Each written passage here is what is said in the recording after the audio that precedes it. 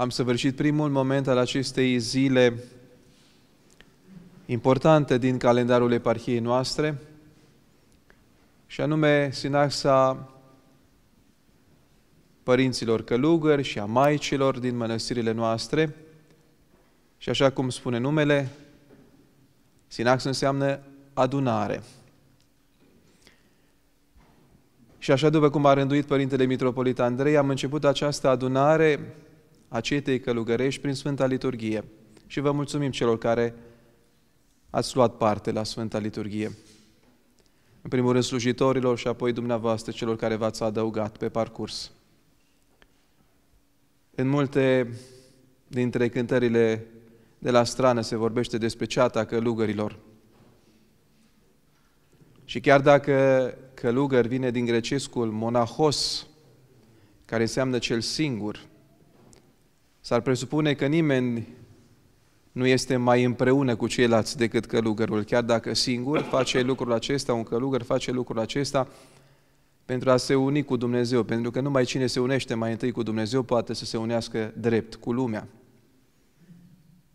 Și atunci de aceea, odată în an și anul acesta într-o formă extinsă, este această rânduială ca să ne întâlnim și să ne vedem și să dăm și semn văzut acestei unități pe care o presupune monahul și ceata călugărească în general, ziceam mai întâi cu Dumnezeu și apoi stabilindu-se în această relație cu Dumnezeu să se stabilească în relație dreaptă cu lumea. Nu arătând cele ale lumii și nu folosind cele ale lumii, ci îndreptându-se spre lume cu cele lui Dumnezeu. Și să o că aici, dacă ar fi să, fac cu, să pun un accent aici, ar fi accentul pe care aș vrea să-l evidențiez. Există o ispită în vremurile noastre să ne apropiem de lume prin cele ale lumii, prin mijloacele lumii. Și aici n-aș vrea neapărat să exemplific, ci pur și simplu să mă refer la tot ceea ce presupune această apropiere calculată, această apropiere gândită, plănuită, în sensul cum să transmitem mesajul Evangheliei oamenilor, dar zic folosindu-ne de instrumentele lumii. Mai că în felul acesta ne pierdem savoarea pe care în mod normal un călugăr ar trebui să o aibă, savoarea vieții monahale, care să fie gustată de către ceilalți, nu este adaptarea la lume, nu este neapărat acel aggiornament, acea actualizare la tot ceea ce presupune tehnica lumii și mijloacele lumii, ci ziceam și subliniez încă o dată această însingurare pentru Dumnezeu. Chilia călugărului este laboratorul învierii. Sau cum ar spune Sfântul Isaac Siru, chilia călugărului este scorbura, peștera în care Moise a văzut spatele lui Dumnezeu. Când petrecem mai mult acolo și mai puțin în afară, atunci când ieșim în afară, putem să spunem ceva lumii și lumea primește cuvântul nostru. Al minteri, oricât de, de bine tâlcuit, de ticluit ar fi el, oricât de bine organizat ar fi el, cuvântul sau gestul nostru sau fapta noastră, din perspectivă socială, să spunem, ne pierdem în cele între ale lumei și nu mai suntem noi în ceea ce această rânduială a cinului monahal o presupune de acum de mii de ani. De pe urma celor care întâi au fost numiți călugări și au lăsat cele ale lumii pentru a se așeza înaintea lui Dumnezeu și au revenit poate în mijlocul lumii sau au transmis cuvântul lumii, dar nu, numai după ce s-au pus în fața lui Dumnezeu și au întărit această legătură de dragoste față de Dumnezeu. Uneori ne este teamă să folosim o imagine care este foarte puternică când vine vorba de viața monahală în general, dar apoi și de viața creștină. Și zic că această imagine este cea a anunții celei tainice. Anunții celei tainice între om, între sufletul omului și Hristos, mirele, mirele său. De ce imagine anunții? Pentru că, pe de o parte, nunta presupune dăruire totală. Iar pe de altă parte, pentru că înseamnă bucurie totală, bucurie de plină. Și pentru că înseamnă mai ales să te abandonezi în, bra- în brațele mirelui tău, în așa fel încât iubirea să se consume și să n-ai alt, altă dragoste pe pământul acesta decât pe mirele tău. Să nu te ocupi cu cele ale lumii, pentru că ne aducem aminte. Au fost zece fecioare, dar cinci dintre ele s-au întors în lume. Toate erau fecioare. Toate aveau această dorință de a se întâlni cu mirele, dar cinci dintre ele s-au folosit de mijloacele lumii, privind înspre lume. Și au pierdut momentul. Când Hristos mirele a venit și le-a poftit ca să intre la nunta pe care de fapt o așteptaseră toată viața lor și pentru care se pregătiseră. Numai că li s-a scâlciat în minte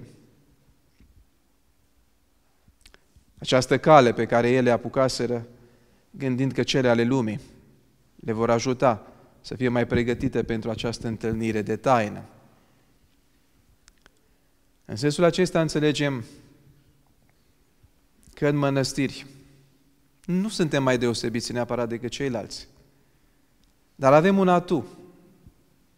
Pentru că avem această șansă ca să ne dorim mai deplin lui Hristos decât cei din lume, pentru că, în teorie, nu avem alt gând decât așteptarea mirelui și pregătirea pentru această întâlnire cu El. Și atunci e foarte important să ne înțelegem, să înțelegem acest atu și să ne folosim de el. Pentru că al minteri putem să trăim în mănăstire ca într-o parohie, unde să fim drăguți cu oamenii, să-i adunăm să fie lângă noi, să fie bisericile mănăstirii pline. În schimb, viața noastră duhovnicească personală și viața de obșten, apoi în consecință, să nu fie construită. Să nu se vadă ca un far de departe pentru cei care ne caută. Cei care vin la mănăstiri nu caută o parohie sau un locuitor de parohie, ci caută ceva specific mănăstirii. Și acest specific al mănăstirii, ziceam, este dăruirea totală mai întâi a călugărului pentru Dumnezeu și din această dăruire să se întâmple privirea limpede față de cei care calcă pragul mănăstirii. Dar mai întâi liturgia și comunitatea mănăstirii și apoi ceilalți, poporul lui Dumnezeu care se adaugă la slujbe. Noi nu suntem, nu avem mănăstiri de clauzură, nu avem mănăstiri, cum se numesc în alte parte, contemplative, în care să avem 85% din viața noastră numai în comunitate, ci suntem mereu amestecați cu oamenii și tocmai de aceea e mare nevoie de această alternanță echilibrată și zic încă o dată, de mai ales de un primat al vieții în intimitate cu Hristos în chilia noastră și în liturghie și apoi întoarcerea spre cele ale lumii. Îmi aduc aminte că Maica Stareță de aici, Maica Teodora, la un moment dat, a zis cu sinceritate, prea sfințite, noi ne descurcăm bine la betoane, dar la altele nu, nu suntem foarte iscusiți. Și mi-a plăcut vorba aceasta, în sensul în care a exprimat o perioadă importantă din viața bisericii noastre și anume acest răstimp de după Revoluție încoace când a fost nevoie să ne aducem aminte că în, în eparhia noastră a fost o singură mănăstire înainte de căderea comunismului și acum sunt 35. Și dăm slavă lui Dumnezeu pentru acest lucru, însă aceste 35 de mănăstiri acum au nevoie de viață pe dinăuntru, pentru ca aceste ziduri să își capete scop, să se vadă înspre la afară cu ceea ce ele presupun. Și zic în sensul acesta și fac și pun acest accent, e nevoie de viață ascunsă, cum ar zice Sfântul Pavel, ascunsă cu Dumnezeu, ascunsă în Dumnezeu a noastră. Și acest lucru se întâmplă, pomeneam, mai ales în chilie. Și chilia noastră este un alt fel de altar unde se întâmplă trăirile noastre cele mai intense. Și atât de important să avem acest, această tihnă după o zi plină în care facem multe lucruri seara sau dimineață bună înainte de slujbă, să avem momentul nostru cu Dumnezeu, pe care dumneavoastră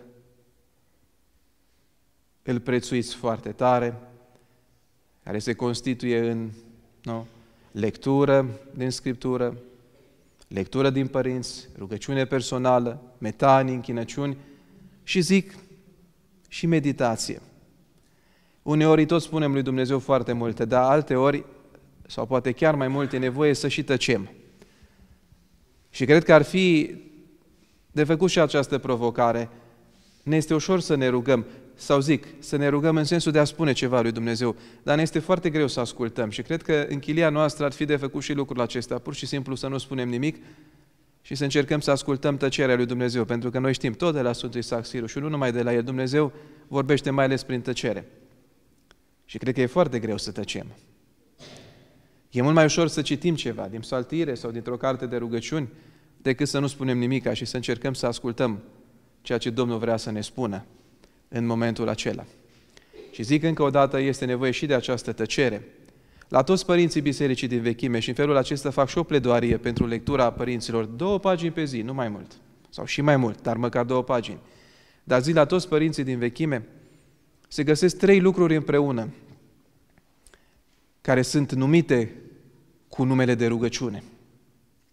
Și aceste trei eh, momente sunt exprimate prin rugăciune propriu-zisă, ca lectură din psaltire sau din cărțile noastre de rugăciuni, apoi lectura părinților, lectura Scripturii și lectura părinților sunt socotite asemenea rugăciunii.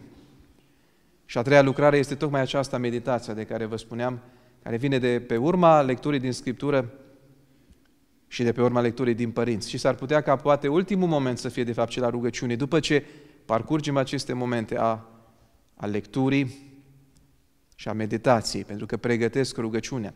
Este foarte greu ca oameni ce suntem împrăștiați în lumea aceasta, seara poate, sau dimineața, să, dar seara mai ales nu, să te aduni și să-i spui ceva Domnului sau mai ales să auzi pe Domnul după ce te-ai amestecat cu toate zilei. Felul acesta, lectura și meditația poate să creeze contextul propice pentru a putea să-i spui ceva lui Dumnezeu cu toată inima. Vedeți că și la liturghie, într-una, în rugăciunea dinainte de Eruvic, îi spunem Domnului că primește rugăciunea celor care, cea, cea făcută cu toată inima.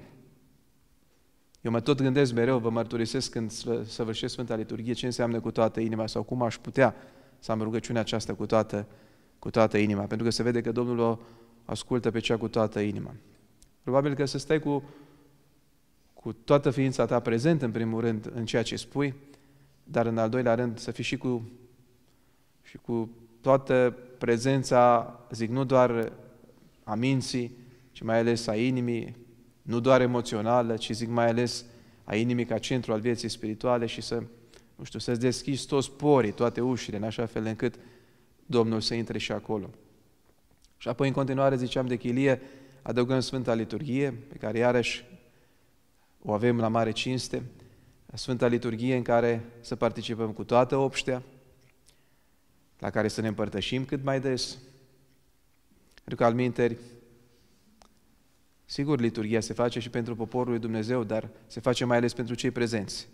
Și zic încă o dată, dacă savoarea noastră ca cei care suntem reprezentanții împărăției se vede din cuvântul lui Dumnezeu pe care îl sălășluim în noi prin lectură, prin rugăciune, prin celelalte, această savoare a împărăției se vede și prin împărtășirea deasă cu Sfintele Taine.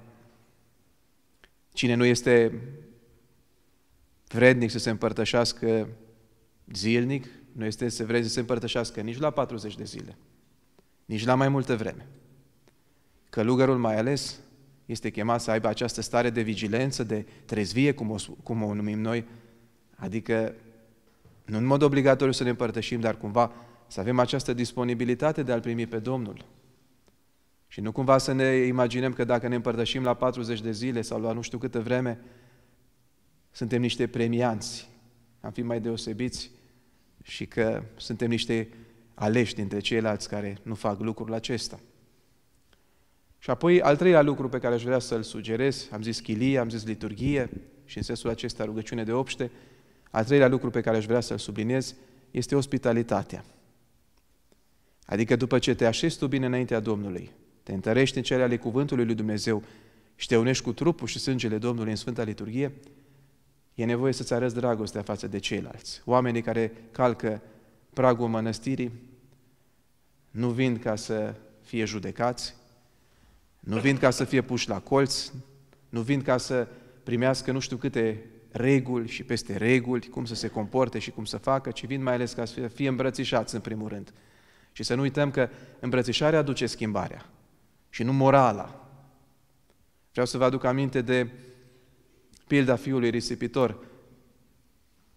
Din gura tatălui nu auzim absolut nimic, niciun fel de observație că vine într-un moment nepotrivit sau cum suntem noi deprinși să-i spunem copilului n-ai făcut bine, ți-am spus eu, nu mai ascultat, acum vezi ce se întâmplă. Nu-i spune absolut nimic, nu mai îl îmbrățișează și nu reușește să-l îmbrățișeze cât ar vrea de mult. Și în timp ce îl îmbrățișează, copilul îi spune, tata, am greșit la cer și înaintea ta.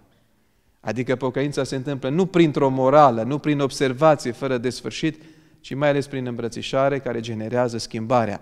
Când oamenii se simt îmbrățișați de noi, de monahi, atunci începe schimbarea și încep să-și mărturisească păcatele. Și încep să se pună în rânduială cu Dumnezeu. Ei când vin înspre noi, căutând îndreptarea, oricum știu că nu se află bine înaintea lui Dumnezeu. Și atunci așteaptă doar ca să primească din partea noastră semne al împărăției, semn către noi și prin noi către ei. Că în biserică nu se află un hotel pentru cei bogați și pentru cei impecabili și în mănăstire cu atât mai mult, ci este atât biserica cât și mănăstirea este un spital în care noi, monahii și ceilalți, încercăm să ne vindecăm de cele ale noastre. Așadar, aceste trei lucruri am vrut să le subliniez în mod special la sfârșitul Sfintei Liturghii, și anume chilia, liturghia și ospitalitatea față de cei care ne calcă pragul. Îi mulțumim Maicii Stareță pentru ospitalitate, pentru buna primire, nu numai de acum, ci și de altă dată, și pentru cântarea frumoasă cu care ne-a soțit la liturghie, am apreciat mult. Suntem bucuroși de soborul cu care am fost împreună astăzi și acum ne pregătim să-L așteptăm pe Părintele Mitropolit Andrei, care, veni, care va veni pentru ora 10, pentru sinaxa propriu-zisă, pentru conferința pe care Părintele Efrem de la Mănăstirea Mihai Vodă de la Turda o va ține și pentru celelalte discuții, acest dialog duhovnicesc pe care îl presupune întâlnirea noastră a cetei călugărești. Ne exprimăm bucuria de a fi împreună astăzi și rugăm pe Dumnezeu să-și reverse harul său în așa fel încât în ceea ce se va întâmpla astăzi să fie de mare folos duhovnicesc pentru obștile noastre călugărești. Amin.